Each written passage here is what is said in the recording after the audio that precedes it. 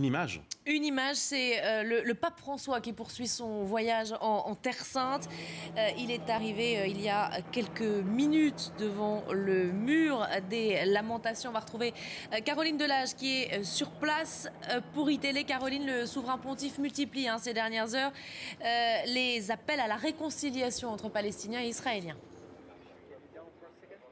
Absolument. Et euh, ce matin, le mot d'ordre, hein, c'est le dialogue interreligieux, euh, puisque euh, le pape était très tôt ce matin sur l'esplanade des mosquées. Il a rencontré le grand moufti de Jérusalem, la plus haute autorité musulmane locale. Il a visité aussi le dôme du Rocher. Et puis maintenant, il est au mur occidental, qu'on appelle communément en France le mur des lamentations. Il a déposé un papier de prière. Je suis avec Rafik Nara, prêtre au diocèse de Paris, en résidence ici à Jérusalem. C'est évidemment ce moment fort qu'on va retenir, ce qu'on a vu il y a quelques instants à peine, l'accolade entre le pape, un rabbin et un représentant musulman.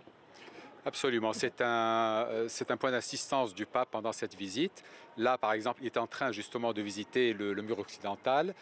Et le, alors le rabbin Rabinovitch, qui est le rabbin du, mur, a fait un discours sur le, tout le rôle du peuple juif pendant l'histoire et la fidélité du peuple juif même pendant les, pires moments de l'antisémitisme et le pape a déposé une, prière hein, avec les paroles du psaume sur, le mur. Et avant cela, le pape donc était euh, au Dôme du Rocher. Il a parlé avec euh, le, grand mufti hein, de Jérusalem qui a insisté sur la souffrance des Palestiniens.